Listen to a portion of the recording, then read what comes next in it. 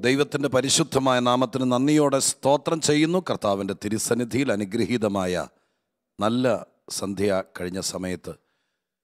ഞങ്ങൾക്ക് ഏറ്റവും പ്രിയമുള്ള ദൈവമക്കളോട് ചേർന്ന് ലോകത്തിന്റെ പല ഭാഗത്താണ് നിങ്ങൾ ഓരോരുത്തരും ആയിരിക്കുന്നതെങ്കിലും ഏറ്റവും അടുത്തിരിക്കുന്നവരെ പോലെ സന്തോഷത്തോടെ ദൈവസന്നിധിയിൽ ഒന്നിച്ചു വന്ന് ഇന്ന് രാത്രിയിലും ദൈവവചനം നമുക്ക് ഒരുമിച്ച് ധ്യാനിപ്പാൻ പങ്കുവെക്കാൻ കർത്തൃദാസന്മാരെന്ന നിലയ്ക്ക് ഞങ്ങൾക്ക് ലഭിച്ചിരിക്കുന്ന ദൈവത്തിന്റെ കൃപയ്ക്ക് തക്കവണ്ണം ദൈവവചനത്തിന്റെ മാർമിക രഹസ്യങ്ങളെ ഞങ്ങൾക്ക് ഏറ്റവും പ്രിയമുള്ളവരോടുമായിട്ട് പങ്കുവെക്കുവാൻ സ്വർഗസ്ഥനായ ദൈവം ഞങ്ങൾക്ക് തരുന്ന അവസരങ്ങൾക്കായിട്ട് ദൈവത്തെ സ്തുതിക്കുന്നു സ്തോത്രം ചെയ്യുന്നു.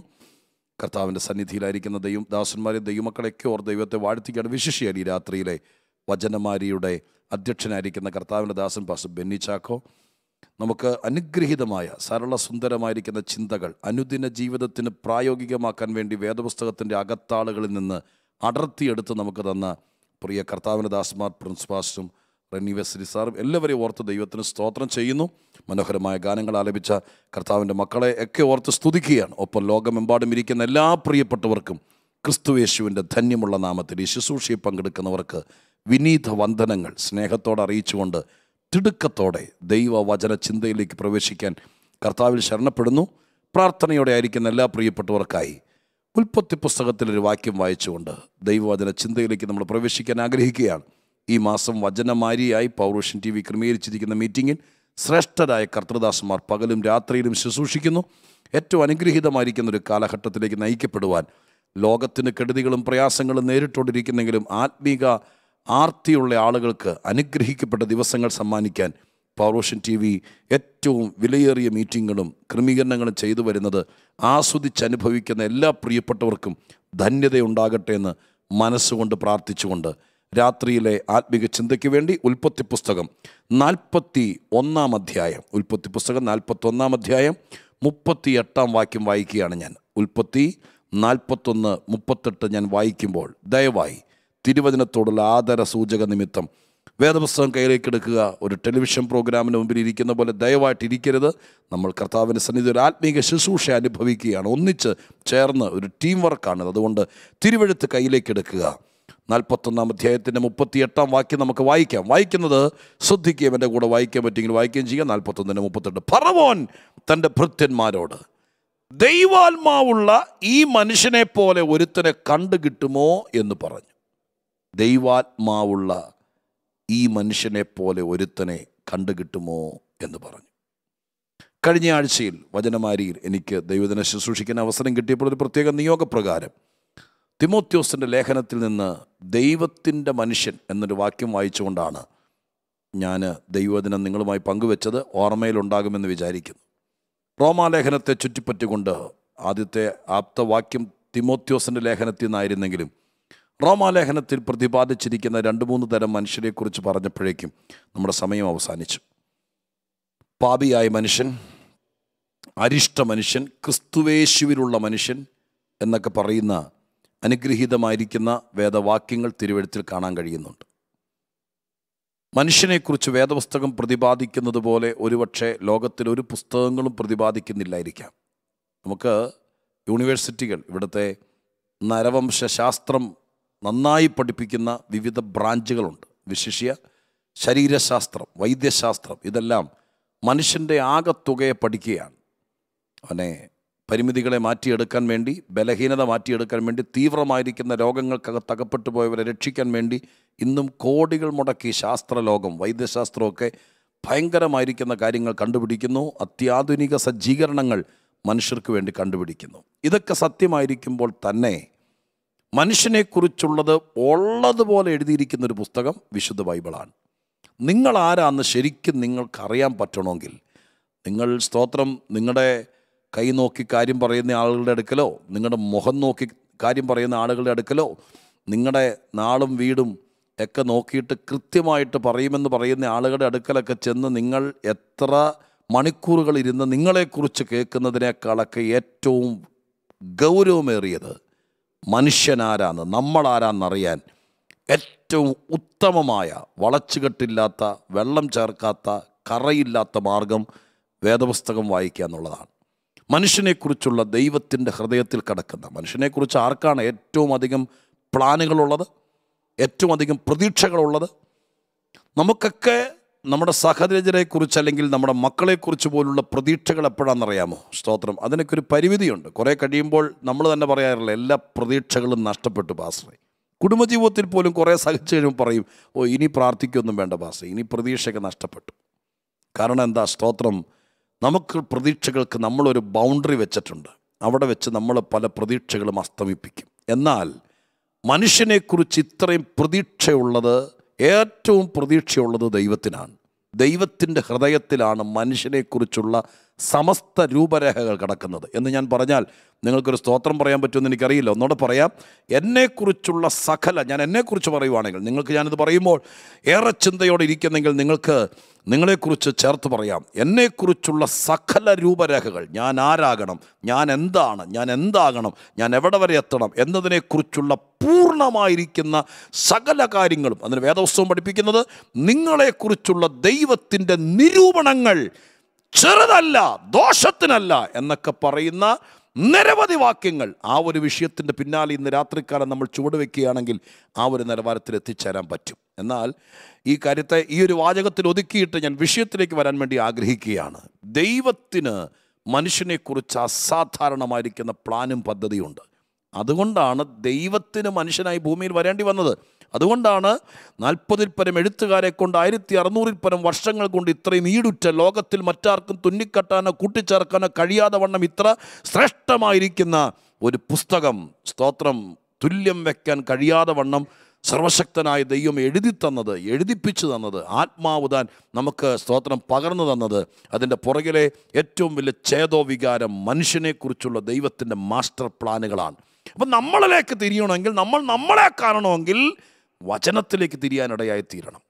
വേദപുസ്തകമാണ് മനുഷ്യന്റെ വിവിധ കാറ്റഗറി മനുഷ്യന്റെ ഭാവി മനുഷ്യന്റെ ജീവിതം വീണുപോയ മനുഷ്യൻ സംഭവിച്ച കാര്യങ്ങൾ തകർച്ചകൾ ഇതിനെക്കുറിച്ചെല്ലാം ഞാൻ നിങ്ങൾക്ക് ഉറപ്പ് തരാം. നിരന്തര വേദപുസ്തക വായനാശീലമുള്ള ഒരാളാണെങ്കിൽ ദൈവവചനത്തെ കേവലം ഒരു മതഗ്രന്ഥമായി കാണാതെ കേവലം ഒരു പാരായണം ചെയ്യാനുള്ള ഒരു പുസ്തകമായി കാണാതെ ഇതിനകത്ത് നിന്ന് കാര്യങ്ങളെ ഗ്രഹിപ്പാൻ മനസ്സൊരുക്കത്തോടുകൂടി വായിക്കുന്ന ഒരു മനുഷ്യനാണെങ്കിൽ നിങ്ങൾക്ക് നിങ്ങളെ കാണാൻ നിങ്ങളുടെ കുടുംബത്തെ കാണാൻ നിങ്ങളുടെ ഭാവിയെ കാണാൻ ഏറ്റവും ഉപകരിക്കുന്നത് വിശുദ്ധ ബൈബിളാണ്. അത്രയും കാര്യങ്ങൾ ഞാൻ ആമുഖത്തിൽ പറഞ്ഞുകൊണ്ട് വായിച്ചിട്ട വേദപുസ്തകത്തിലെ വാക്യത്തോട് നീതി പുലർത്തേണ്ടത് ആവശ്യമായിരിക്കുകയാണ്. നിങ്ങൾക്ക് ലഭിക്കേണ്ട ഈ രാത്രിയിലെ സന്ദേശം ലഭിക്കണമെന്നുള്ളത് കൊണ്ട് ഞാൻ ആ ഭാഗത്തേക്ക് തിരിയാൻ വേണ്ടി ആഗ്രഹിക്കുകയാണ്. ഇന്ന് രാത്രി വേദപുസ്തകത്തിൽ ഒട്ടനവധി തരം മനുഷ്യനെക്കുറിച്ച് പറയുന്നുണ്ട്. മനുഷ്യൻ വാസ്തവത്തിൽ ദൈവത്തിന്റെ ചിന്തയിലും നിരൂപണത്തിലും ആദമനെ സൃഷ്ടിക്കുമ്പോൾ ഒരു ചിന്തയാണുള്ളത്. മനുഷ്യനെക്കുറിച്ച് ടോട്ടലി കുറേ ആളുകൾ നരകതുല്യരാകട്ടെ കുറേ ആളുകൾ അധപ്പതിക്കട്ടെ കുറേ ആളുകൾ അടിയാടന്മാരാകട്ടെ കുറേ ആളുകൾ മുതലാളിമാരാകട്ടെ കുറേ ആളുകൾ സന്തോഷിക്കട്ടെ കുറേ ആളുകൾ ദുഃഖിക്കട്ടെ.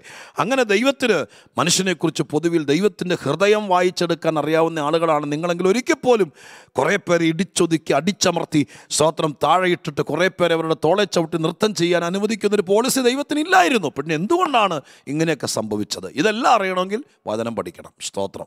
ഇപ്പോൾ ബൈബിളിൽ പലതരം ആളുകളെ പലതരം മനുഷ്യനെക്കുറിച്ച് കാണാൻ കഴിയുന്നു. ഇന്ന് രാത്രി നമ്മൾ വായിച്ചത് കഴിഞ്ഞ ആഴ്ച നമ്മൾ വായിച്ചത് ദൈവത്തിന്റെ മനുഷ്യനെക്കുറിച്ചാണ്. ഇന്ന് നമ്മൾ വായിച്ച വാക്യം യോസെപ്പിനെ കുറിച്ചാണ് പറയുന്നതെങ്കിലും യോസെപ്പിനെ അവിടെ ഹൈഡ് ചെയ്തുകൊണ്ട് ആ വ്യക്തിയെ അവിടെ മറച്ചു നിർത്തിക്കൊണ്ട് ഫറവോ രാജാവ് പറഞ്ഞിരുന്ന യോസെപ്പിനെ കുറിച്ച് പറഞ്ഞ ആ പദപ്രയോഗം ഉണ്ടല്ലോ അതിനെ മാത്രം നമ്മൾ അടർത്തിയെടുക്കുകയാണ്. എന്താണ് ഫറവോൻ പറഞ്ഞത്? ദൈവാത്മാവുള്ള മനുഷ്യൻ ദൈവാത്മാവുള്ള മനുഷ്യൻ. ഇങ്ങനൊരു മനുഷ്യനെ കണ്ടു കിട്ടുമോ നമ്മുടെ നാട്ടിലെങ്ങാന്ന ചോദിച്ചത്? അപ്പോൾ അവരുടെ നാട്ടിലെങ്ങും ഇല്ലാത്തൊരു മനുഷ്യൻ പുറത്തുനിന്ന് വന്നിരിക്കുന്നു. എന്താണ് അവന്റെ പ്രത്യേകത? അവന്റെ ശരീരത്തിന്റെ സ്വത്ര വലിപ്പമോ തൊലിയുടെ കളറോ അവന്റെ ചിരിയോ കണ്ണോ മൂക്കോ ഒന്നുമല്ല വിഷയം. പിന്നെ എന്താണ്? അയാൾ കണ്ടെത്തിയ രാഷ്ട്രത്തലവൻ കണ്ടെത്തിയ ഏറ്റവും വലിയ പ്രത്യേകതയാണ്. നമ്മുടെ നാട്ടുകാർക്ക് ആർക്കുമില്ലാത്തൊരു പ്രത്യേകത. എന്താണ് പ്രത്യേകത? സ്വത്രം ഇവന് ദൈവാത്മാവുണ്ട്. അപ്പോൾ ദൈവാത്മാവുള്ള മനുഷ്യൻ എന്ന് പറയുന്ന ഒരു കാറ്റഗറി മനുഷ്യരുടെ ഇടയിൽ അന്നും ഇന്നും ഉണ്ട്.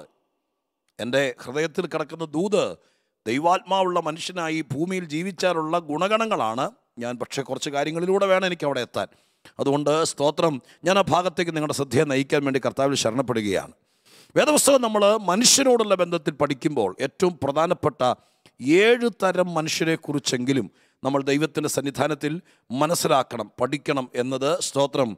തിരുവഴുത്ത് നമ്മളെ ഓർപ്പിക്കുന്ന ഒരു യാഥാർത്ഥ്യമാണ്. സ്തോത്രം പഠിക്കാൻ. ഇതൊരു വിഷയം പഠിച്ച് നമ്മൾ മുന്നോട്ട് പോകാൻ ആഗ്രഹിക്കുന്നെങ്കിൽ സ്തോത്രം എന്റെ ഗതികേട് ഞാൻ ഇങ്ങനെയാണെന്നും പറഞ്ഞുകൊണ്ട് നമ്മളെ തന്നെ കൊച്ചാക്കി ഒതുക്കി അല്ലെങ്കിൽ നമ്മൾ ജനിച്ച പശ്ചാത്തലം നമ്മുടെ കുടുംബത്തിന്റെ പശ്ചാത്തലം നമ്മുടെ രക്തം ഇത് അല്ലെങ്കിൽ നമ്മുടെ അപ്പന്മാരാരായിരുന്നു സ്തോത്രം ഇപ്പോൾ നമ്മുടെ സ്ഥിതി എന്താണ്? അതുകൊണ്ട് നമുക്ക് ഗതി പിടിക്കാൻ സാധ്യതയില്ലെന്നൊക്കെ പറഞ്ഞ് നമ്മളെ തന്നെ കൊച്ചാക്കാതെ ദൈവസന്നിധിയിൽ നമ്മൾ വന്നിരിക്കുന്നത് എബ്രാഹിം വായിക്കുന്ന പോലെ മഹാദൈവത്തിന്റെ മുമ്പിലും ദൈവമായ കർത്താവ് നമ്മളെ ഉയർത്തത്തക്ക രീതിയിൽ സ്വർഗത്തിലെ ദൈവത്തിന്റെ സഭയ്ക്കകത്തും പരിശുദ്ധാത്മ നിയോഗത്തോടുകൂടി നടത്തുന്ന ദൈവാത്മാവിന്റെ നടത്തിപ്പിന്റെ ഉള്ളിലും നമ്മൾ വന്നെത്തിയെങ്കിൽ നിങ്ങൾ കേവലം കേൾവിക്കാർ മാത്രമാണെങ്കിൽ ഒരുപക്ഷെ ഞാൻ പറയും നിങ്ങൾക്ക് എത്രത്തോളം ഫലിക്കും അറിയില്ല. പക്ഷെ നിങ്ങൾ രക്ഷിക്കപ്പെട്ടവരും കർത്താവിനെ അറിയുന്നവരും ദൈവത്തിന്റെ മക്കളായി തീർന്നവരും കാലുവരിക്കൂശിലെ രക്തം നമുക്ക് ഫലിച്ചു എന്ന് നമുക്ക് ഉറപ്പുണ്ടെങ്കിൽ ഞാൻ പറയുന്നത് നിങ്ങൾ ശ്രദ്ധിച്ചു കേൾക്കണം.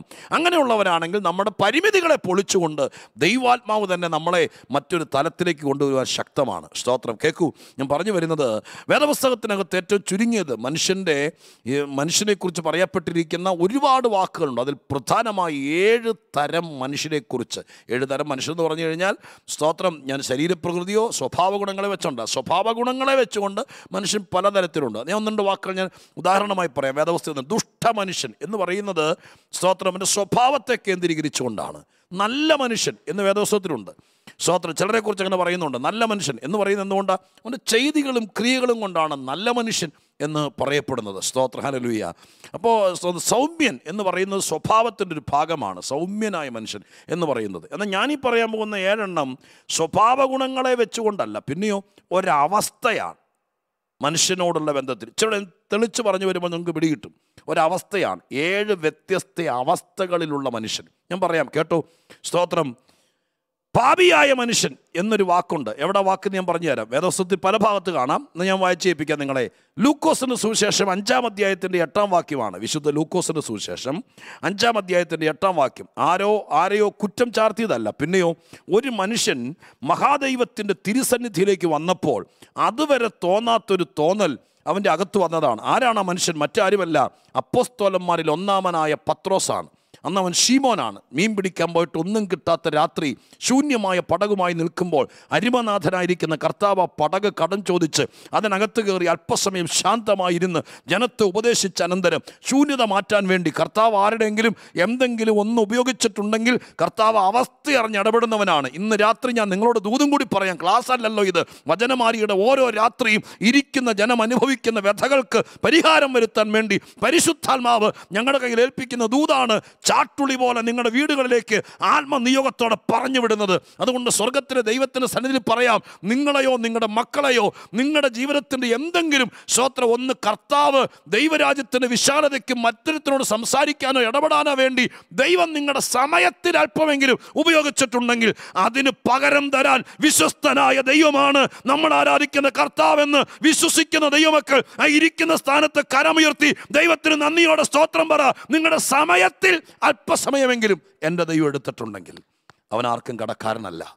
അപ്പം എന്റെ പടകെടുത്ത് ഒന്നും കിട്ടാതെ പൊട്ടി നിൽക്കുന്ന പ്രഭാതത്തിൽ പടകിനകത്ത് കയറിയിരുന്ന് സംസാരിച്ചനന്തരം ശ്രോത്രം ജനത്തോട് സംസാരിച്ചനന്തരം ആഴത്തിലേക്ക് നീക്കി വലയെറിയാൻ പറഞ്ഞ് വല നിറച്ച് മീൻ കെട്ടി പടക് രണ്ടും നിറഞ്ഞു നിൽക്കുന്ന സമയത്ത് പെട്ടെന്നൊരു ഉൾബോധം പത്രോസിനുണ്ടാകുകയാണ്. എന്താ ഉണ്ടായത്? അഞ്ചാം അധ്യായത്തിന്റെ എട്ടാം വാക്യത്തിൽ പത്രോസ് പറയുന്നു.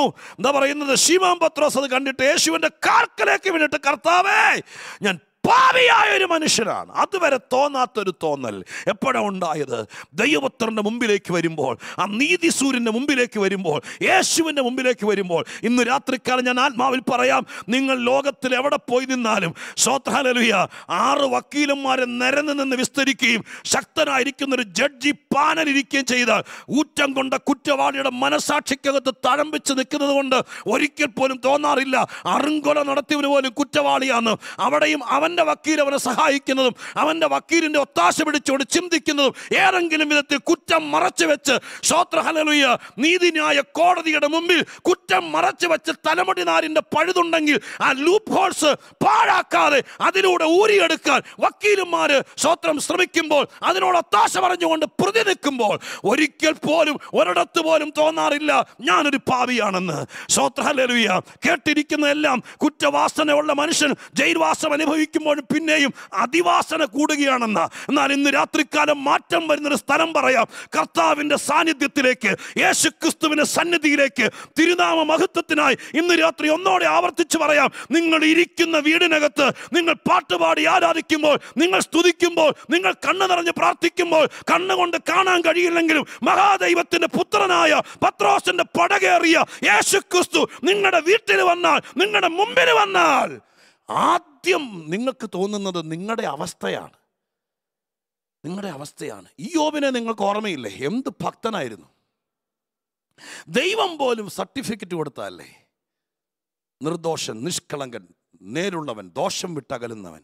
പക്ഷെ അദ്ദേഹത്തിന്റെ പുസ്തകം ഈ യോബിന്റെ പുസ്തകത്തിന്റെ അവസാനത്തെ അധ്യായത്തിന്റെ ഒരു വാക്യം ഇങ്ങനെ എഴുതിയിട്ടുണ്ട്. അദ്ദേഹം പറയുന്നത് ഇങ്ങനെയാണ്. സ്തോത്രം. എന്താ പറയുന്നേ? ദൈവമേ ഞാൻ നിന്നെക്കുറിച്ചൊരു കേൾവി മാത്രമേ കേട്ടിരുന്നുള്ളൂ. ഇപ്പോഴോ എന്റെ കണ്ണാൽ ഞാൻ നിന്നെ കാണുന്നു. അടുത്ത വാക്ക് എന്താണെന്നറിയാമോ? സ്വോത്രം അതുകൊണ്ട് ഞാൻ രട്ടിലും വെണ്ണീറിലും ഇരുന്ന് എന്നെ തന്നെ വെറുത്ത്. സ്വോത്രം എന്താ അയ്യോബേ? ഇതുവരെ ഇല്ലാത്തൊരു തോന്നൽ ഇപ്പോൾ തോന്നാൻ കാരണം? ഇപ്പോൾ കേൾവിയുടെ പുറത്തല്ല ദൈവത്തെ കണ്ടു. ദൈവം സ്തോത്ര ചുഴലിക്കാറ്റിൽ അവന്റെ പുരടത്തിന്റെ മുകളിൽ ഇറങ്ങി നിന്നു. അവൻ ദൈവത്തെ ആസ്വദിച്ചു ദൈവത്തെ അറിഞ്ഞു ദൈവത്തെ അനുഭവിച്ചു. കഷ്ടങ്ങളുടെ നടുവിലാണെങ്കിലും വേദനയുടെ രോഗത്തിന് നടുവിൽ ദൈവത്തെ അനുഭവിക്കുമ്പോൾ അവിടെ വെച്ച് നമ്മൾ അറിയും നമ്മൾ ആരാണ് നമ്മുടെ പരിസ്ഥിതി എന്താണ് ഇത്രയും നാളും നമ്മൾ പൊക്കിപ്പിടിച്ചുകൊണ്ട് നടന്ന പഴയതൊന്നും വലിയ കാര്യമുള്ള കാര്യമല്ല എന്ന് ബോധ്യമാകണമെങ്കിൽ ദൈവത്തിന്റെ മുമ്പിലേക്ക് വരണം ദൈവത്തിന്റെ മുമ്പിലേക്ക് വരണം. യേശുക്രിസ്തുവിന്റെ മുമ്പിലേക്ക് യഥാർത്ഥത്തിൽ ക്രിസ്തുവിന്റെ ആ തനതായത്തെ കഴിവ് ശക്തി കടലിൽ വെളിപ്പെട്ട് പടകിലേക്ക് മീൻ സ്വത്രം കോരിയിട്ട് കഴിഞ്ഞപ്പോൾ ആ മനുഷ്യന് തോന്നിയത് എന്റെ ഗതികേട് മാറി രക്ഷപ്പെട്ടു ഇങ്ങേര് കയറിയതിന്റെ പേര് സ്വത്രം ഞങ്ങളിനി രക്ഷപ്പെട്ടു എന്നല്ല തോന്നിയത്. യഥാർത്ഥത്തിൽ അദ്ദേഹത്തിന് തോന്നൽ ഇതാണ്. ഇതുവരെ തോന്നാത്തത്. അന്ന് പത്രോസിന് എത്ര വയസ്സ് പ്രായമെന്ന് എനിക്കറിയില്ല. സ്വാത്രം പിച്ച വെച്ച് നടന്ന കാലം മുതൽ കഠിനാധ്വാനിയായി. കടലിനോടും വെയിലിനോടും മല്ലടിച്ച് സ്വാത്രം പോരാടി ഉപജീവനത്തിന് വേണ്ടി ശക്തമായി നിൽക്കുന്ന ആ പ്രായം വരെയും ഒരിക്കൽ പോലും തോന്നാത്തത്. യഹൂദ പശ്ചാത്തലത്തിൽ ജനിച്ചു വളർന്നതുകൊണ്ട് ഞാൻ വിചാരിക്കുന്നു യഹൂദന്റെ ഏഴ് പെരുന്നാളുകളിൽ പെരുന്നാൾ തെറ്റിക്കാതെ ദൈവാലയത്തിൽ പോയിരുന്ന മനുഷ്യൻ. അദ്ദേഹത്തിന് സിന്നഗോഗുണ്ടെങ്കിൽ ശബത്ത് തോറും സിന്നഗോഗിൽ സ്വത്ര ന്യായപ്രമാണ തൽപരനായി വായിച്ചു കേൾക്കാൻ പോകാറുള്ള മനുഷ്യൻ. സ്വത്ര ഹലലുയ ഇങ്ങനെയുള്ള മനുഷ്യൻ ഒരിക്കൽ പോലും ദൈവാലയത്തിൽ പോയിട്ട് തോന്നാത്ത തോന്നൽ ഒരിക്കൽ പോലും പെരുന്നാളുകൾക്ക് പോയിട്ട് തോന്നാത്ത തോന്നൽ ഒരിക്കൽ കൂടി കടത്തി പറയുക സ്വത്രം ആത്മീക പശ്ചാത്തലത്തിലെ പല ചൂടും പിടിച്ച് പലതും ചെയ്തിട്ട് അവിടെയൊന്നും പോയിട്ട് തോന്നാത്ത തോന്നൽ യേശു ക്രിസ്തുവിന് മുമ്പിൽ വന്നപ്പോൾ തോന്നി ഞാനൊരു പാപിയായ മനുഷ്യനാണ്. ഇന്ന് രാത്രികാലം ഞാൻ ആത്മാവിൽ പറയാം ഒരു മനുഷ്യന്റെ ഉയർച്ചയുടെ ആദ്യത്തെ പടി സ്വത്രം ഈ വാക്കിനകത്താണ് എവിടെ വെച്ച ആദ്യത്തെ പടി മാനസാന്തരത്തിന്റെ ആദ്യത്തെ ചവിട്ടുപടി പാപിയായ മനുഷ്യനെ തോന്നുമ്പോഴാണ്. അപ്പോൾ ഒന്നാമത് നമ്മൾ അറിയണം പാപിയായ മനുഷ്യൻ. വേദപുസ്തകം ചിത്രീകരിക്കുന്നു. അതൊരു സ്വഭാവത്തിന്റെ ഭാഗമല്ല. അതൊരവസ്ഥയാണ്. ഒരവസ്ഥയാണ്. എന്ന് പറഞ്ഞാൽ സ്തോത്രം എന്ന് പറഞ്ഞാൽ എന്നോട് തെളിച്ചു പറയാം. പാപം ചെയ്യുന്നത് ചെയ്തത് കൊണ്ട് പാപിയാകുകയല്ല പാപിയാണ്. ആ പാപവാസന അവനിൽ ഇരിക്കുന്നത് കൊണ്ടാണ് അവനിതൊക്കെ ചെയ്യാൻ വേണ്ടി പാപത്തിന്റെ സ്വത്രം ആ ആ മുറുകപ്പിടുത്തത്തിൽ പിടിക്കപ്പെടാൻ കാരണം. അതൊരവസ്ഥയാണ്. എന്നെ കേൾക്കുന്ന പ്രിയപ്പെട്ടവരെ അത് സ്വഭാവ രൂപീകരണം കൊണ്ടോ വീട്ടിൽ നിന്ന് മാറ്റി അമ്മാച്ചന്റെ വീട്ടിൽ നാല് സ്വത്രം മാസം നിർത്തിയത് കൊണ്ടോ ഞങ്ങളെപ്പോലത്തെ ഒരു ഉപദേശിയുടെ പാഴ്സലേജിൽ കൊണ്ടുവന്ന് നിർത്തിയത് കൊണ്ടൊന്നും മാറുന്നതല്ല. പിന്നെയോ പാപമെന്ന അവസ്ഥ മാറണമെങ്കിൽ കുഞ്ഞാടിന്റെ പുണ്യാഹരക്തം ഫലിക്കണം. അതിന് മനസ്സ് തുറക്കണം. സ്തോത്രഹാലലുയ ആ അവസ്ഥ മാറണം. ആ അവസ്ഥ മാറാതെ നമ്മൾ എത്ര നേർച്ച കാഴ്ചകളിലും വഴിപാടുകളിലും നമ്മൾ എത്ര ധ്യാനത്തിലും പ്രാർത്ഥനയിലും ഒക്കെ നിന്നാലും ആ ഒരു അവസ്ഥയെ പൊളിക്കണം. ഇന്ന് രാത്രിക്കാലം ദൈവാത്മാവുള്ള മനുഷ്യനാണ് എന്റെ ലക്ഷ്യമെങ്കിലും ഞാൻ പരിശുദ്ധാൽ പറയാം. നിങ്ങൾക്ക് ദൈവാത്മാവുള്ള മനുഷ്യനാകണമെങ്കിൽ മറ്റൊരവസ്ഥയെ പൊളിക്കണം. ഏതാത് പാപിയായ മനുഷ്യൻ. എല്ലാ ആഴ്ചയിലും ഞാൻ പാപിയാണ് പാപിയാണെന്ന് പറഞ്ഞ മനുഷ്യന് ഒരിക്കലും ദൈവാത്മാവുള്ള മനുഷ്യനാകാൻ പറ്റുമെന്ന് എനിക്ക് തോന്നുന്നില്ല. സ്വത്രം പിന്നെയോ പാപിയായ മനുഷ്യനെ അവസ്ഥയ്ക്ക് മാറ്റം വരുത്തുവാനാ യേശു ക്രൂശിൽ മരിച്ചത്. മനുഷ്യനാദാമ്യ വർഗം മുഴുവൻ പാപപങ്കിലുമായ നിലവാരത്തിൽ സ്വത്രം ആ പിടിയിൽ അമർന്നതാണ്. എന്നാൽ ഇന്ന് രാത്രിക്കാലം രണ്ടായിരത്തിൽ പരം വർഷമായി ക്രൂശിതനായ ക്രിസ്തുവേശു കൃപായുഗം എന്ന് പറയുന്ന ഒരു പുത്തൻ മണ്ഡലത്തിന് സ്വത്രം അനുവാദം തുടർന്നതിന്റെ വാതായനങ്ങൾ തുറന്നതോടുകൂടെ മനുഷ്യന്റെ പാപ പാപാവസ്ഥയ്ക്ക് മാറ്റം വരാൻ തുടങ്ങി. പാപം മൂടിയിടുകയല്ല പാപ പരിഹാരം വന്നു. ഇന്ന് രാത്രിക്കാലം നിങ്ങൾ അറിയണം പാപിയായ മനുഷ്യനായി എല്ലാ ആഴ്ചയിലും എല്ലാ ആണ്ടിലും അത് തന്നെ ഏറ്റുപറഞ്ഞ് അവസാനം നരകക്കുഴിയിൽ വീഴാതിരിക്കണമെങ്കിൽ പാപിയായ മനുഷ്യൻ എന്ന അവസ്ഥയ്ക്ക് മാറ്റം വരുത്തണം. സ്വോത്രം സുവിശേഷവും സുവിശേഷകന്മാരും ദൈവവും ദൈവത്തിന്റെ സഭയും ഈ പവറുഷൻ ചാനലുമൊക്കെ ഏറ്റവും അധികം ലക്ഷ്യമാക്കുന്നത്. മനുഷ്യനെ പാപിയായി തന്നെ പൊതിഞ്ഞു കെട്ടി ഇവിടെ നിന്ന് കൊടുത്തു വിടാനല്ല. പിന്നെയോ സ്വോത്രം പാപാവസ്ഥയ്ക്ക് മാറ്റം വരുവാൻ. അതിന്ന് രാത്രിക്കാലം അറിയാതെ പോകരുത്. പാപിയായ മനുഷ്യനെന്ന് പറയുന്നത് ഒരു സ്വഭാവത്തിന്റെ ഭാഗമല്ല അതൊരവസ്ഥയാണ്. അത് തിരിച്ചറിയുക. ഞാൻ പറഞ്ഞു വരുന്നത് ഏഴ് തരം ആളുകളെക്കുറിച്ചെങ്കിലും നമ്മൾ മനസ്സിലാക്കണം. ഓടിച്ചു പറയാം കേട്ടോ. രണ്ട് സ്തോത്രം പഴയ മനുഷ്യൻ എന്നൊരു വാക്ക് വേദപുസ്തകത്തിനുണ്ട് കഴിഞ്ഞ സന്ദേശത്തിൽ ഞാനൊന്ന് തൊട്ടുവിട്ടതാണ്. വിശദീകരിച്ചില്ല. ഇന്നും വിശദീകരിക്കാൻ ആഗ്രഹിക്കുന്നില്ല. ആ വാക്യം എഫ് എസ് ലേഖനം നാലാം അധ്യായത്തിന്റെ ഇരുപത്തിരണ്ട് ഇരുപത്തിമൂന്ന് വാക്യങ്ങൾ നിങ്ങൾ ബൈബിളിൽ വായിച്ചാൽ ഇല്ലെങ്കിൽ സ്ക്രീനിൽ വന്നാൽ നിങ്ങൾ നോക്കിയാൽ കാണാൻ കഴിയും.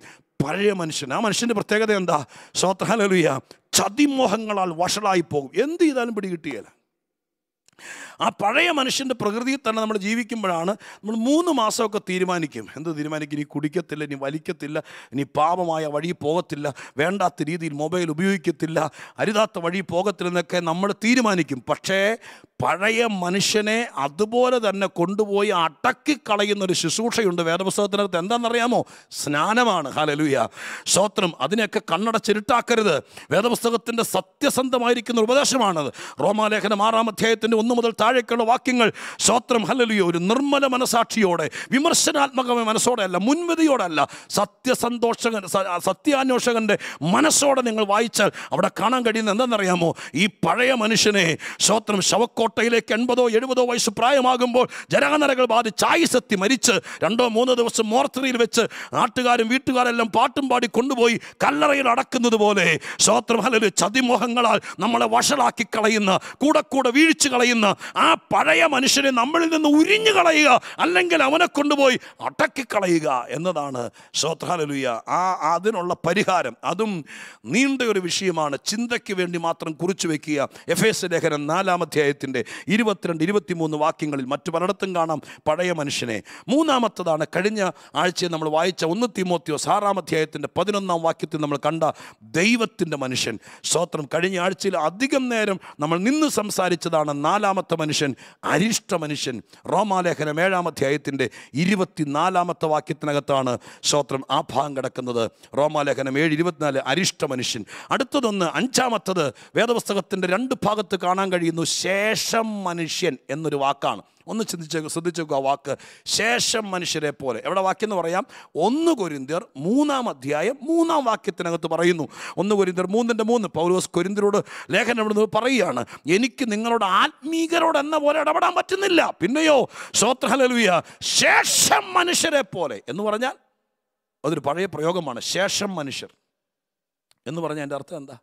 ഒരു ഒരു സ്തോത്രം ഒരു വലിയ എന്താ അതിന് ഉദാഹരണം പറയാം സ്തോത്രം. അപ്പോൾ തേങ്ങ നമ്മുടെ വീട്ടിൽ നമുക്ക് തെങ്ങും തോപ്പുണ്ടെന്നിരിക്കട്ടെ ഇപ്പം അത്രയും സ്ഥലങ്ങളൊന്നുമില്ല. പഴയ ജന്മി കുടുംബങ്ങളിലൊക്കെ ഉണ്ട്. ആറുമാസം കൂടുമ്പോൾ മൂന്ന് മാസം കൊണ്ട് തേങ്ങയിടും പത്തും അഞ്ഞൂറ് എഴുന്നൂറും തേങ്ങയാണ് സ്തോത്രം. ഇതെല്ലാം കൂടി കൂട്ടിയിടുകയാണ്. തേങ്ങ ഇടാൻ വന്നതാണ്. എല്ലാം കൂട്ടിയതിന് ശേഷം നമ്മൾ വിൽക്കുകയാണ്. അപ്പോൾ അതിനകത്ത് തേങ്ങ കച്ചവടക്കാർ വന്നിട്ട് എല്ലാം നല്ല കുലുക്കി നോക്കി നല്ലത് കൊണ്ടുപോയി. നല്ലത് കൊണ്ടുപോയതിന് ശേഷം പത്തഞ്ഞൂറ് തേങ്ങ ഉണ്ടായതിന് ശേഷം ബാക്കി ഒരു പത്ത് നാൽപ്പത്തഞ്ചെണ്ണം ശേഷിക്കും. എന്ന് പറഞ്ഞാൽ അർത്ഥം എന്നറിയാമോ നല്ലതൊക്കെ ആമ്പിള്ളേർ കൊണ്ടുപോയി. ബാക്കി കുലുങ്ങാത്തതും സ്തോത്രം അവർക്ക് കയ്യിലെടുക്കുമ്പോൾ അറിയാം ഇതിനകത്തൊന്നും കാണിയില്ലെന്ന് അങ്ങനെയുള്ളതിനാണ് ഈ ശേഷിക്കുന്നത് സ്തോത്രം. ഇപ്പോൾ ആരെങ്കിലും വരുമ്പോൾ പണ- പണിക്കാരും ആരെങ്കിലും വരുമ്പോൾ അവിടുത്തെ കൊച്ചമ്മ പറയും പോകുമ്പോൾ നീ നാല് നാല് തേങ്ങയും കൂടി കൊണ്ടുപോക്കോ കാരണം എന്താ? നല്ലതൊക്കെ ആൾക്കാർ കൊണ്ടുപോകല്ലോ ബാക്കി കിടക്കുന്ന ശേഷം തേങ്ങയാണ് സ്തോത്രം. അറിയാലോ ആ വാക്കിന്റെ അർത്ഥം നിങ്ങൾക്ക് ഇവിടെ കിട്ടുന്നുണ്ടല്ലോ? അപ്പോൾ ശേഷം മനുഷ്യൻ എന്ന് പറഞ്ഞാൽ എന്താ? ദൈവം ഈ ലോകത്തിൽ നിന്ന് തെരഞ്ഞെടുത്തൊരു കൂട്ടരുണ്ട്. തെരഞ്ഞെടുക്കപ്പെട്ട മനുഷ്യർ. അവരുടെ കുടുംബം നോക്കിയിട്ടോ അവരുടെ ആകാരവടിവ് നോക്കിയിട്ടോ അവരുടെ സ്തോത്രകാഴ്ച നോക്കിയിട്ടല്ല ദൈവം തെരഞ്ഞെടുത്തു. ആ തെരഞ്ഞെടുക്കപ്പെട്ടതിന് ശേഷമുള്ള ബാക്കി ഇവിടെ കിടക്കുന്നുണ്ട് കിട്ടും മട്ടുമായിട്ട്. മനസ്സിലാവുന്ന പറയുന്ന വാക്ക്? സ്തോത്രം. ഉടേതമ്പുരാൻ ഇന്നും ആ തെരഞ്ഞെടുപ്പ് നടത്തിക്കൊണ്ടിരിക്കുന്നു. എന്നെ കേൾക്കുന്ന പ്രിയപ്പെട്ട സഹോദരങ്ങളെ കൂടപ്പുറപ്പുകളെ മഹാദൈവത്തിന് തെരഞ്ഞെടുപ്പ് തിരിച്ചറിയാൻ പറ്റിയ ഭാഗ്യം. ആ തെരഞ്ഞെടുപ്പിന്റെ കൂട്ടത്തിൽ ചേർന്നവരെല്ലാം ദൈവത്താൽ വേർതിരിക്കപ്പെട്ടവരാ. അതുകൊണ്ടാണ് യോഹന്നാൻ പതിനഞ്ചിലൊക്കെ ഞങ്ങളുടെ കർത്താവ് നമ്മുടെ കർത്താവ് ശക്തമായി പറഞ്ഞത് നിങ്ങൾ എന്നെ തെരഞ്ഞെടുത്തുന്നല്ല ഞാൻ നിങ്ങളെ തെരഞ്ഞെടുത്തു. ഇപ്പോഴും തെരഞ്ഞെടുപ്പ് നടക്കുന്നുണ്ട്. ഇന്ന് രാത്രിയിലും നിങ്ങൾ യോഗം കേട്ടോണ്ടിരിക്കുമ്പോൾ സ്വോത്രം ഞാൻ ആത്മാവിൽ പറയാം ഒരു വലിയ തെരഞ്ഞെടുപ്പ് നടക്കുന്നുണ്ട്. നിങ്ങൾ തിരിച്ചറിഞ്ഞാൽ ഭാഗ്യം. അപ്പൊ അവരെ തെരഞ്ഞെടുത്തു. സ്തോത്രം എണ്ണൂറ്റി അൻപത് കോടി ആളുകൾ ഇന്ന് ഭൂമിയിൽ ജീവിച്ചിരിക്കുന്നു എന്ന് ഏകദേശം കണക്ക്. ഇതിനകത്ത് എല്ലാവരും ഒരു ഭൂമിയിലാണ് ജീവിച്ചിരിക്കുന്നത്. എല്ലാവരും ഏതൊക്കെയോ രാജ്യങ്ങളുടെ ഭാഗമാണ്. ഏതെങ്കിലും നിയമങ്ങളുടെയും ജനാധിപത്യമോ ഏകാധിപത്യമായിരിക്കുന്ന വ്യവസ്ഥകൾക്ക് കീഴ്പ്പെട്ട് അതത് രാജ്യത്തിന്റെ ഭരണഘടനയ്ക്ക് വിധേയപ്പെട്ടാണ് എല്ലാവരും ജീവിക്കുന്നത്. പക്ഷെ അങ്ങനെയൊക്കെ ആയിരിക്കുമ്പോൾ തന്നെ ഇവിടെ നിങ്ങൾ അംഗീകരിച്ചാലും ഇല്ലെങ്കിലും ഞാനൊരു സത്യം എന്റെ വേദപുസ്തകം നെഞ്ചോട് ചേർത്ത് വെച്ച് പറയാം. ഇവിടെ ഒരു ഭയങ്കര തെരഞ്ഞെടുപ്പ് നടക്കുന്നുണ്ട്. അത് പാനലുണ്ടാക്കിയും പാർട്ടി പിടിച്ചുമല്ല പിന്നെയോ സർവശക്തനായ ദൈവം മനുഷ്യകുലത്തിൽ നിന്ന് തെരഞ്ഞെടുപ്പ് നടത്തുന്നുണ്ട്. ആ തെരഞ്ഞെടുക്കപ്പെട്ടവരാണ്. ദൈവത്താൽ അനുഗ്രഹിക്കപ്പെട്ടവർ. ആ തെരഞ്ഞെടുക്കപ്പെട്ടവരെ ഞാൻ തേങ്ങയുടെ കാര്യം പറഞ്ഞ പോലെ സ്വത്താലലുയ കുലുക്കി കൊള്ളാവുന്നത് മാറ്റിവെച്ചു. അല്ലെങ്കിൽ ദൈവത്തിന് തിരഞ്ഞെടുത്തവരെ മാറ്റിവെച്ചു. ബാക്കിയുള്ള തിരഞ്ഞെടുപ്പ് തിരിച്ചറിഞ്ഞ് ദൈവനിയോഗം കേട്ട് വിശ്വസിച്ച് ജീവന്റെ പുസ്തകത്തിൽ പേരെഴുതി ദൈവത്തിന് വേണ്ടി ജീവിക്കാൻ വേണ്ടി സമർപ്പിതരായി തീർന്ന വേദപുസ്തകത്തിന്റെ ഭാഷയെ പറഞ്ഞ രക്ഷിക്കപ്പെട്ട് വീണ്ടും ജനിച്ച ആളുകൾ അവർ തിരഞ്ഞെടുക്കപ്പെട്ടവരോട് കണത്തിപ്പോയി ബാക്കി കിടക്കുന്ന ആളുകളെ ഈ പുസ്തകം ഞാനല്ല. സ്വത്രം ക്രൈസ്തവ ലോകം മുഴുവൻ അംഗീകരിക്കുന്ന ചരിത്ര പുരുഷനായ സ്വോത്രം പൗരാസപ്പോസ്തവൻ എഴുതിയ വാക്കാണ് ശേഷം മനുഷ്യർ. തെരഞ്ഞെടുക്കപ്പെട്ടതിന്റെ ശേഷിപ്പ് ബാക്കി കിടക്കുന്നത്. അപ്പോൾ കൊരിന്തിനോട് പറയുന്ന തത്വത്തിൽ നിങ്ങൾ സെലക്റ്റീവാണ് തിരഞ്ഞെടുക്കപ്പെട്ടവരാണ് പക്ഷെ അതിന്റെ ക്വാളിറ്റി ഒന്നും നിങ്ങൾ കാണാനില്ല. അതുകൊണ്ട് നിങ്ങളോട് സംസാരിക്കുമ്പോൾ എനിക്ക് തോന്നുന്നത് നിങ്ങൾ സെലക്റ്റീവ് പീപ്പിൾ ആണെന്നല്ല ആളുകളാന്നല്ല എനിക്ക് തോന്നുന്നത്. പിന്നെയോ നിങ്ങളാ ശേഷം മനുഷ്യർ. എന്ന് പറഞ്ഞാൽ കുലുങ്ങാത്ത തേങ്ങ എന്ന് പറഞ്ഞില്ലേ? സ്തോത്രം മനസ്സിലാവുന്നുണ്ട് പക്ഷേ സ്തോത്രം നിങ്ങളുടെ മുഖം എനിക്ക് ആത്മാവിൽ കാണാൻ കഴിയുന്നുണ്ട്. സ്തോത്രം പരിശുദ്ധാത്മാവ് ഞാൻ പറയാം തിരഞ്ഞെടുക്കപ്പെട്ടവരുടെ ഗണത്തിലാണോ അല്ലയോ ഇന്ന് രാത്രിക്കാലം ഉറപ്പാക്കണമെന്ന് വേദോത്സവം പഠിപ്പിക്കുന്നു. നിങ്ങളുടെ വിളിയും തെരഞ്ഞെടുപ്പും ഉറപ്പാക്കുക. അവ തെരഞ്ഞെടുക്കപ്പെട്ടതിന് ശേഷമുള്ള ആളുകളെ ഈ പുസ്തകത്തിൽ എഴുത്തുകാരനായിരിക്കുന്ന പുതിയ നിയമത്തിന്റെ ദൃഢനിശ്ചയമുള്ള എഴുത്തിന് വേണ്ടി തൂലിക കൊടുത്ത് അഭിമാനത്തോടെ ലേഖനങ്ങളിലൂടെ സത്യം വെളിപ്പെടുത്തിയ പൗലോസ് എന്ന ദീർഘദർശി എഴുതി ശേഷം മനുഷ്യർ.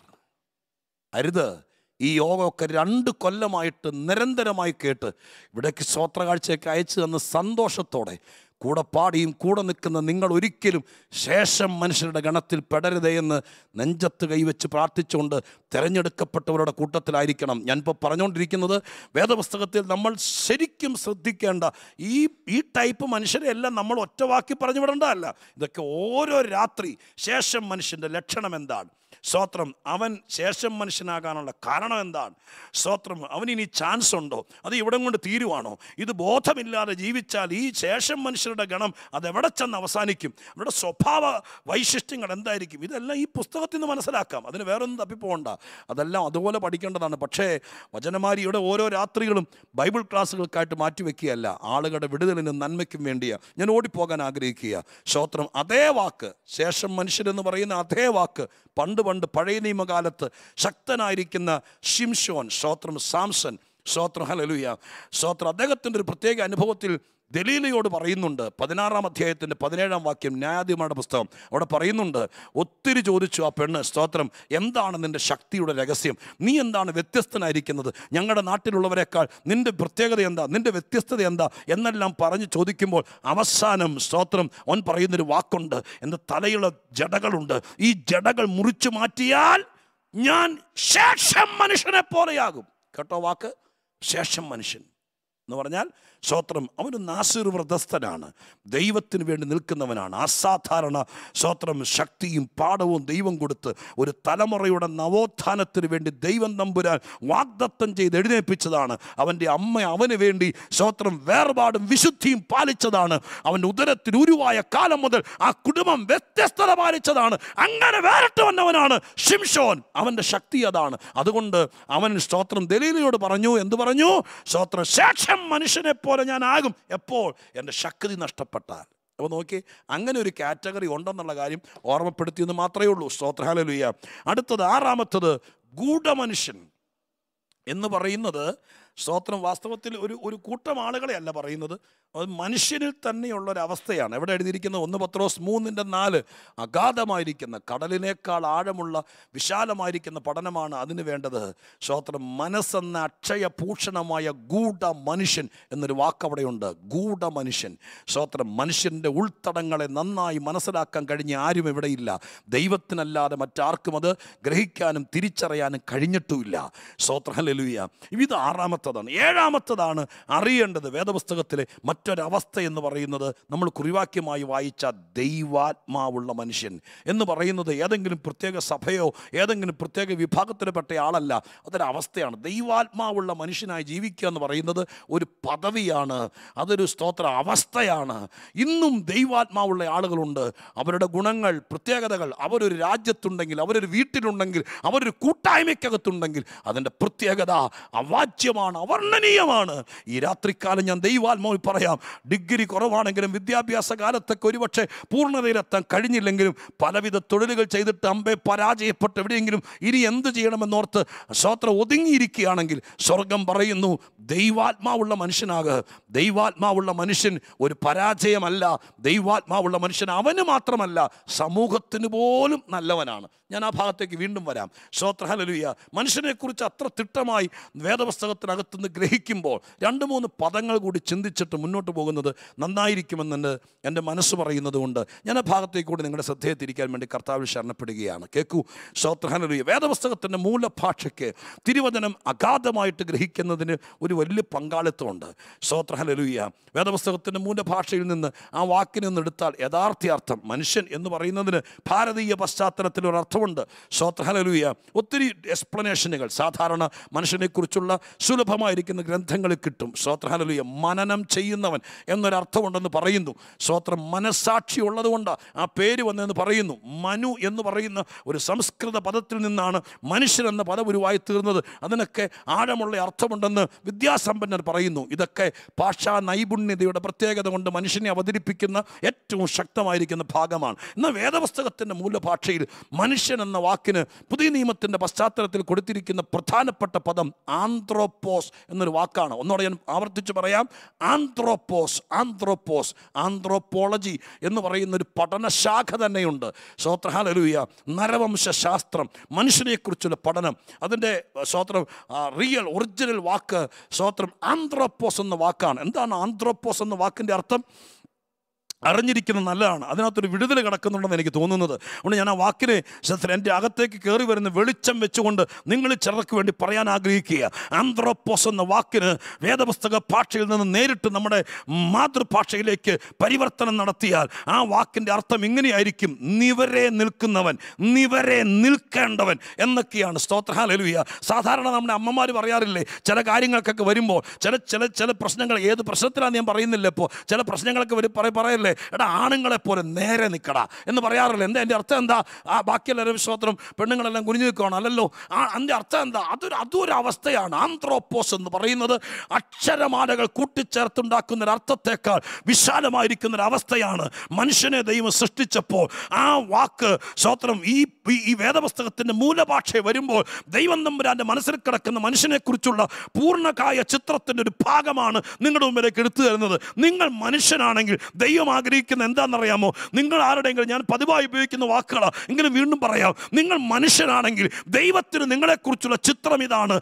നിങ്ങൾ ഒതുങ്ങിക്കൂടി. ആരെയൊക്കെ പേടിച്ച് അടച്ചിട്ട മുറിക്കകത്ത് എന്നും ദിവാസ്വപ്നങ്ങൾ കണ്ട് ഭയപ്പെട്ട് ഒതുങ്ങിപ്പോകാനല്ല ദൈവം നമ്പുരാൻ ആഗ്രഹിക്കുന്നത്. പിന്നെയോ നിങ്ങളുടെ ദേശത്ത് നിങ്ങളുടെ കുടുംബത്തിൽ നിങ്ങൾ നിവരെ നിൽക്കണം. പാപവും പാപത്തിന്റെ പുറകിൽ വ്യാപരിക്കുന്ന പൈശാചിക വ്യാപാരങ്ങളും മനുഷ്യനെ ഒരു കാലത്തും നിവരെ നിർത്താതിരിക്കാൻ പ്രശ്നങ്ങളില്ലാത്തൊരു കാലം ഉണ്ടായിട്ടില്ല പ്രശ്നങ്ങളുടെ മുമ്പിലും പ്രതികൂലങ്ങളുടെ മുമ്പിലും ഒരിക്കലും നിവര നിൽക്കാൻ കഴിയാതെ ഭയപ്പെട്ട മനുഷ്യൻ കൂട്ട ആത്മഹത്യയിലേക്ക് കടന്നുപോയി. ജനകോടികളാണ് ആത്മഹത്യ ചെയ്തു പോയത്. എന്താ കാര്യം? മനുഷ്യന് നിവര നിൽക്കാൻ കഴിയുന്നില്ല. ഇന്ന് രാത്രി എന്റെ അകത്തേക്ക് എരച്ചു കയറുന്ന പരിശുദ്ധാത്മാവിന്റെ ശക്തിയോടെ ഞങ്ങളെ കേൾക്കുന്ന പ്രിയപ്പെട്ടവർക്ക് വേണ്ടി പറയാം. നിങ്ങൾ ഒരിക്കലും അരുതാത്ത ഒരു ചിന്തയിലേക്ക് വരുത്തരുത്. കാരണം നിങ്ങളുടെ പുറകിൽ ദൈവം നിൽക്കുന്നു. എന്തിനു വേണ്ടി? നിങ്ങളെ ചവിട്ടി ഓടിക്കാനല്ല. നിങ്ങളെ പറഞ്ഞു ഒതുക്കാനല്ല. പിന്നെയോ നിങ്ങളെ പിടിച്ചുയർത്താൻ കരുത്തുള്ള കരവുമായി ദൈവം നമ്പുരാൻ നിങ്ങൾ മനുഷ്യനാണെങ്കിൽ നിങ്ങളെക്കുറിച്ചുള്ള പ്ലാൻ നിങ്ങൾ നിങ്ങളുടെ സമൂഹത്തിൽ നിവരാനിക്കണം.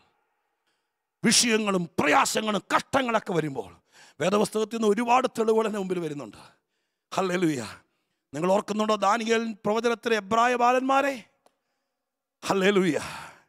ചുമ ചുമരിൽ ഒരു പടം വരച്ച് കാട്ടിയിട്ട് പിള്ളേരെ പേടിപ്പിക്കുന്ന പോലെ പണ്ടത്തെ മലയാളി പറയുന്ന പോലെ ഓലപ്പാമ്പ് കാട്ടി പേടിപ്പിക്കുകയല്ല. അന്നത്തെ രാജാവ് പിന്നെയോ സ്തോത്ര ഹല്ലേലൂയ. നല്ല സ്തോത്രം. പൂവത്തിൻ കനലെന്നൊക്കെ പ്രവാചക ഭാഷയിൽ എഴുതിയിരിക്കുന്ന പോലെ കനലുമുറ്റിയ മുട്ടൻ തടിക്കഷ്ണങ്ങൾ ഏഴുമടങ്ങ് തീ വർദ്ധിപ്പിച്ച് തീച്ചൂള തന്നെ ഉണ്ടാക്കി. സ്തോത്രഹലൂയ അതിന്റെ മുമ്പിൽ നിർത്തിയിട്ട് ചോദിക്കുകയാണ്.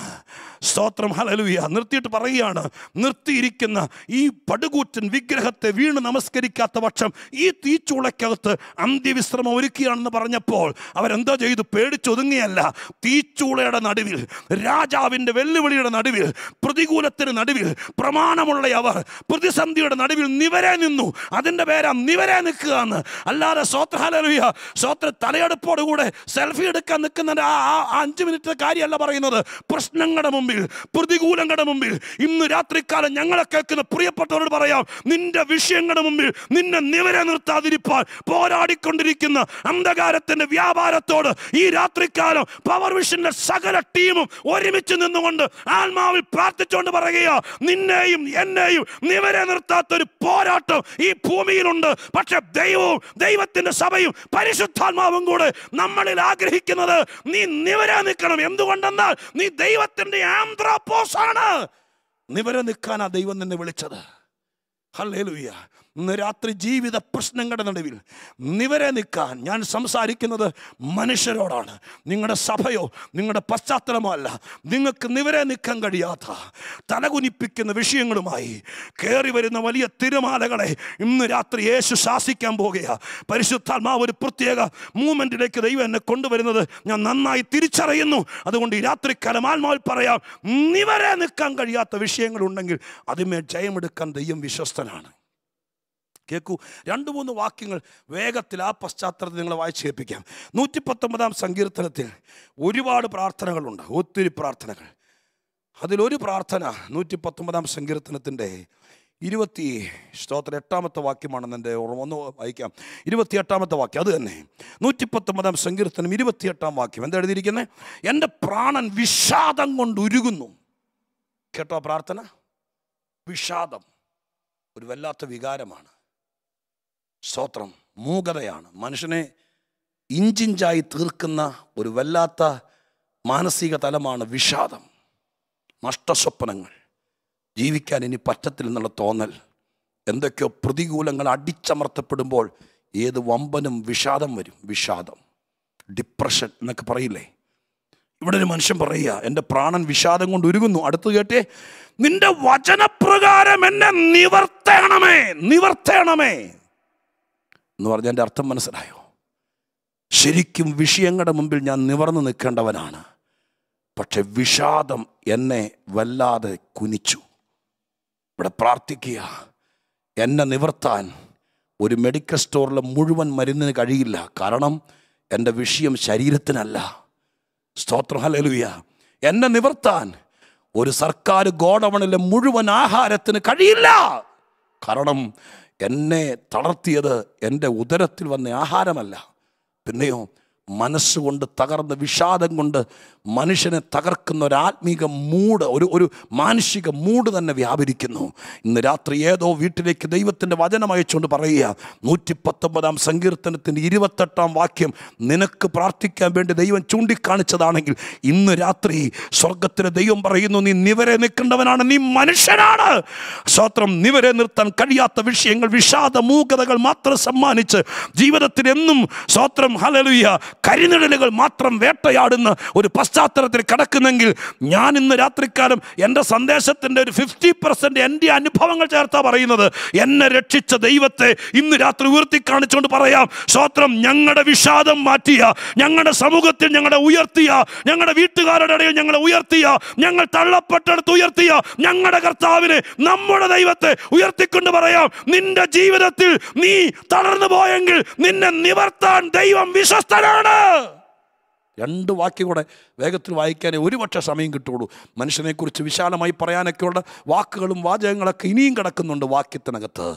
സ്തോത്രം. ദൈവാത്മാവുള്ള മനുഷ്യനെക്കുറിച്ച് തൊടാൻ പറ്റിയില്ലെന്നുള്ള കാര്യം കൂപ്പുകൈകളോടെ വീണ്ടും ഞാൻ പറയുന്നു. പല സന്ദേശത്തിൽ പറയുന്നത് പോലെ. ദൈവം അനുവദിച്ചാൽ കർത്താവിന്റെ വരവ് താമസിച്ചാൽ മറ്റൊന്നും സംഭവിച്ചില്ലെങ്കിൽ ജനുവരി മാസത്തിൽ വീണ്ടും ഒരു അവസരം കൂടി ഉണ്ടായാൽ മനുഷ്യനെക്കുറിച്ച് തന്നെ വീണ്ടും നമുക്ക് ചിന്തിക്കാം. ഞാൻ അവസാനം രണ്ട് വാക്യം കൂടെ വായിച്ച് സ്തോത്രം. നിങ്ങൾക്ക് വേണ്ടി ഒരു വാക്ക് പ്രാർത്ഥിച്ച് ഞാൻ സ്തോത്രം. പാട്ടിലേക്ക് നയിക്കപ്പെടാൻ കർത്താവിന്റെ കൃപയിൽ ശരണപ്പെടുകയാണ് കേൾക്കണേ പ്രിയപ്പെട്ടവരെ കേട്ടേ രണ്ട് വാക്കോടെ ഞാൻ ഈ വാക്യത്തോട് പശ്ചാത്തലത്തിൽ പറയാം. ലൂക്കോസ് പതിമൂന്ന് പതിമൂന്ന് നോക്കി. ലൂക്കോസിന്റെ സുവിശേഷം.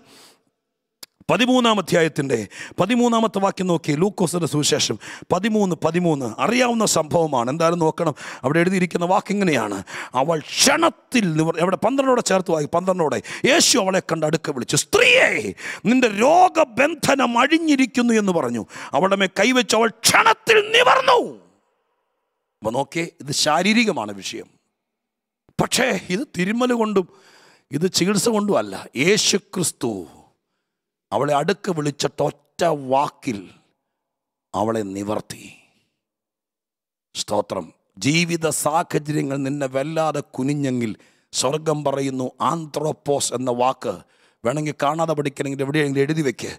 നീ ജീവിതത്തിന്റെ സമരമുഖത്ത് നിൽക്കുമ്പോൾ പരിശുദ്ധാത്മാവിൽ പറ. വേറൊന്നും എനിക്കറിയില്ല. മലയാള ബൈബിൾ അക്ഷരങ്ങൾ കൂട്ടി വായിക്കാൻ പോലും അറിയില്ല. പക്ഷേ പവർ വിഷനിൽ ഒരു സന്ദേശത്തിൽ കൂടെ ഞാൻ കേട്ടു. ഞാൻ ആന്ത്രോപ്പോസാണെന്ന് ദൈവത്തിന്റെ സൃഷ്ടിയുടെ മണിമുകുടം എന്ന് പറഞ്ഞാൽ നിവരെ നിൽക്കാൻ വേണ്ടി സൃഷ്ടിച്ച ദൈവത്തിന്റെ പരമസൃഷ്ടിയാണ് ഞാൻ. അതുകൊണ്ട് എന്റെ വിഷയങ്ങൾ എന്നെ കുനിക്കാൻ നോക്കിയാലും സ്വത്രം ദൈവാലയത്തിനകത്ത് കുനിഞ്ഞു നിൽക്കുന്ന ഈ സ്ത്രീയെ പോലെ ഈ അമ്മയെ പോലെ നിന്റെ ജീവിതത്തിലോ സമൂഹ മധ്യത്തിലോ കുനിഞ്ഞു പോയി പത്ത് പതിനെട്ട് വർഷങ്ങൾ പിന്നിടുമ്പോൾ സ്വർഗം പറയുന്നു നിവർത്തുന്നവൻ ഒരുവനെ ഉള്ളൂ യേശു മാത്രം. കാരണം മനുഷ്യനെ കുറിച്ചുള്ള പ്ലാനുകൾ അവന്റെ കയ്യിലല്ലേ? ഒരു വാക്യോടെ വായിച്ച് ഞാൻ നിങ്ങൾക്ക് വേണ്ടി പ്രാർത്ഥിച്ചോളാം കേട്ടോ. അത് മർക്കോസിന്റെ സുവിശേഷമാണ്. ശോത്രം മർക്കോസ് ഒമ്പത് ഇരുപത്തേഴ്. മർക്കോസിന്റെ സുവിശേഷം ഒമ്പതാം അധ്യായം ഇരുപത്തിയേഴാം വാക്യം എഴുതിയിരിക്കുന്നത് ഇങ്ങനെയാണ്. യേശു അവനെ കൈക്ക് പിടിച്ച് നിവർത്തി. ഞാൻ നിവർത്തി എന്നുള്ള മൂന്നാൽ വാക്യം ബൈബിളിൽ നിന്ന് കണ്ടുപിടിച്ച്. ശ്രോത്രഹാലലുയ പതുക്കെ സന്ദേശം സ്കിപ്പ് ചെയ്തു നിങ്ങൾ വിചാരിക്കരുത്. ഞാൻ പറഞ്ഞ സന്ദേശം നിങ്ങൾക്ക് പിടികിട്ടിയോ? പൗരുഷനിലെ ഈ സന്ദേശങ്ങളുടെ ഏറ്റവും വലിയ എന്റെ ഹൃദയത്തിനകത്ത് കൂടുതലൊന്നും പറയണമെന്നില്ല. തകർന്നടിഞ്ഞു കടന്ന സാഹചര്യത്തിൽ നിന്ന് കൈപിടിച്ചുയർത്താൻ ആരുമില്ലാത്ത കാലത്ത് പിടിച്ചുയർത്തി ഇന്ന് നിങ്ങളുടെ മുമ്പിൽ ഇന്ന് രാത്രി ഇങ്ങനെ ഈ പുൽപ്പിറ്റിന്റെ പുറകിൽ തിരുവെഴുത്തും കൈ പിടിച്ചുകൊണ്ട് നിൽക്കാൻ എന്നെ നിവർത്തിയ ദൈവത്തെ ഉയർത്തി കാണിച്ചുകൊണ്ട് പറയാം. ശ്രോത്രഹാലലുയ പാതാളത്തിലെ പൈശാചിക ശക്തികൾ നല്ല പ്രായത്തിൽ നീ ഒരിക്കലും നിവരാതിർപ്പം നിന്റെ കൂമ്പടപ്പിച്ച് നിന്റെ തലമുറയെ വഷളാക്കി. ജീവിതത്തിൽ അപ്പനെ അമ്മയെ പോലും തലകുരിപ്പിക്കാൻ വേണ്ടി വ്യാമോഹിച്ച് വ്യഗ്രതയോടെ അടരാടി നിൽക്കുന്ന ദുഷ്ടാത്മശക്തിയോട് സന്ധിയില്ലാത്ത സമരം ആത്മാവിൽ പ്രഖ്യാപിച്ചുകൊണ്ട് ഇന്ന് രാത്രി ഞാൻ വിളിച്ചു പറയാം. നിവർത്തുന്ന ഒരു യേശുവുണ്ട് കാരണം മനുഷ്യനെക്കുറിച്ചുള്ള മാസ്റ്റർ പ്ലാൻ ദൈവത്തിന്റെ കയ്യിലാണ്. വൈദ്യശാസ്ത്രത്തിന്റെ കയ്യിലല്ല. ആരാണ് മനുഷ്യൻ? ആരാണ് ദൈവത്തിന്റെ മനുഷ്യൻ? ആരാണ് ദൈവാത്മാവുള്ള മനുഷ്യൻ? പ്രശ്നങ്ങളും പ്രതികൂലങ്ങളും പ്രതിസന്ധികളും വരുമ്പോൾ നിവരെ നിൽക്കുന്നവൻ. പാപം മനുഷ്യനെ നിവരെ നിൽക്കാതെ വണ്ണം തളർത്തിക്കളയും. രോഗം മനുഷ്യനെ തളർത്തിക്കളയും. വിഷാദം മനുഷ്യനെ തളർത്തിക്കളയും പൈശാചിക വ്യാപാരങ്ങൾ മനുഷ്യനെ വളച്ചു കളയും. ഇതിന്റെ നടുവിൽ നിവരെ നിൽക്കാൻ ഞാൻ ആ വാക്ക് വീണ്ടും നിങ്ങളെ പഠിപ്പിക്കുന്നു. ആവർത്തിച്ചു പറ. ആന്ത്രോപ്പോസ് സ്വത്രം നട്ടല്ലോടെ നിവരെ നിൽക്കേണ്ടവൻ. ഇന്ന് രാത്രി ഈ വചനത്തെ മുറുകെ പിടിച്ചുകൊണ്ടൊരു വാക്ക് പ്രാർത്ഥിക്കാൻ പോവുക നിങ്ങൾ ദൈവത്തോട് പറ എനിക്ക് പിടിച്ചു നിൽക്കാൻ പറ്റുന്നില്ല. ഇതീക്കോൾ എനിക്ക് പിടിച്ചു നിൽക്കാൻ പറ്റുന്നില്ല. തീരുമാനം എടുക്കാൻ പറ്റുന്നില്ല. പലരും പറയുന്നു കോടതിയിലേക്ക് പോകും ചിലർ പറയുന്നു പോലീസിൽ ചെന്ന് പറ. ചിലർ പറയുന്നു നീ കൊച്ചിനെ വിളിച്ച് വീട്ടിലേക്ക് പോകും ചിലർ പറയുന്നു അവിടെ പറ ഇവിടെ പറ. മനസ്സ് പറയുന്നു പോയി ചാവ്. പിടിച്ചു നിൽക്കാൻ പറ്റുന്നില്ല. ഇന്ന് രാത്രി പിടിച്ചു നിൽക്കാൻ പറ്റാത്ത ഏതെങ്കിലും മനുഷ്യൻ എന്നെ കേൾക്കുന്നെങ്കിൽ നിങ്ങൾ ആരാന്ന് ഞാൻ ശ്രോത്രം നോക്കുന്നില്ല. നിങ്ങൾ ദൈവത്തിന്റെ സൃഷ്ടിയുടെ പരമകാഷ്ഠയാണെങ്കിൽ മാസ്റ്റർ പീസ് ആണെങ്കിൽ ആ കരത്തിന്റെ കരവിരുതാണെങ്കിൽ നിങ്ങളെ നിവരെ നിർത്താൻ ആ ദൈവത്തിന്റെ പരിശുദ്ധാത്മാവിനെ സ്വർഗം നിങ്ങൾക്ക് തന്നത്. മിസ്രൈം എന്ന് പറയുന്ന ആ മഹാരാജ്യത്ത് വരാനിരിക്കുന്ന ക്ഷാമകാലത്ത് ഒരു മനുഷ്യനെ ദൈവാത്മാവുള്ളവനായി ദൈവം ആ രാജ്യത്ത് അയച്ചു. ആ രാജ്യത്തോടുള്ള കൂറുകൊണ്ടല്ല ദൈവത്തിന്റെ മനുഷ്യനാരാന്നറിയണം ദൈവാത്മാവുള്ളവനാരാന്നറിയണം വരാനിരിക്കുന്ന കൊടും ക്ഷാമത്തിന് നടുവിലും ദൈവാത്മാവുള്ളവൻ നിവരെ നിന്നു. കണ്ണടച്ചേ നമുക്കൊരു വാക്ക് പ്രാർത്ഥിക്കാം. നാളുകളിൽ എന്തു സംഭവിക്കും? പക്ഷെ ഇന്ന് രാത്രിക്കാലം ഒരു കൊച്ചു പ്രാർത്ഥന. പരിശുദ്ധ ദൈവമേ സ്വർഗീയ പിതാവേ കടഭാരം കൊണ്ട് രോഗം കൊണ്ട് ഒറ്റപ്പെടൽ കൊണ്ട് കുടുംബ പ്രശ്നം കൊണ്ട് നിവരെ നിൽക്കാൻ കഴിയാതെ പോയ ഏതെങ്കിലും മനുഷ്യരുണ്ടെങ്കിൽ ആന്ത്രോപ്പോസ് എന്ന വാക്ക് ദൈവാത്മാവിന്റെ ഹൃദയത്തിൽ തന്നു. നിവരെ നിർത്താതിരിക്കാൻ സാത്താന് ലോകം ഭയങ്കരമായി പോരാടുമ്പോൾ നിവരെ നിർത്തേണ്ടവർക്കായി പ്രാർത്ഥിക്കും. ദൈവരെ നിവരെ നിർത്തണം. കൃപയെ താങ്ങണം. ഇവർക്ക് അനുഗ്രഹമാകണം. ഇന്നു മുതൽ വിഷയങ്ങളുടെ മുമ്പിൽ തീച്ചൂളയുടെ മുമ്പിൽ നിൽക്കാൻ എബ്രായ ബാലന്മാർക്ക് കരുത്തു കൊടുത്ത ദൈവം ഈ ഇരിക്കുന്ന ഈ കരയുന്ന ഈ പ്രാർത്ഥിക്കുന്ന സകല ജനത്തിനും ആ കരുത്തു കൊടുത്ത് അനുഗ്രഹിക്കണമെന്ന് ഞാൻ വിനീതമായി പ്രാർത്ഥിക്കുന്നു. എന്റെ പ്രാർത്ഥന എപ്പോഴും കേൾക്കുന്നതിന് നന്ദി പറയുന്നു. യേശുവിന്റെ നാമത്തിൽ തന്നെ ചേർന്നൊരു പാട്ട് നമ്മുടെ സഹോദരങ്ങളുടെ കൂടെ പാടാം. അതിനുശേഷം കർത്താവിന്റെ ദാസൻ ബെന്നിച്ചാക്കോ തന്നെ മുന്നോട്ട് വന്ന് കൺകൂടി ചെയ്തോളും. ദൈവം നമ്മെ അനുഗ്രഹിക്കട്ടെ. നിങ്ങൾ നിവരെ നിൽക്കണം. ദൈവത്തിന്റെ ആന്ത്രോപ്പോസാണ് വിഷയങ്ങളുടെ മുമ്പിൽ തളരരുത്. നിവരെ നിൽക്കാൻ ദൈവാത്മാവ് നിങ്ങളെ സഹായിക്കും. God bless you. ചേർന്ന് പാടാം. ദൈവം നമ്മെ അനുഗ്രഹിക്കും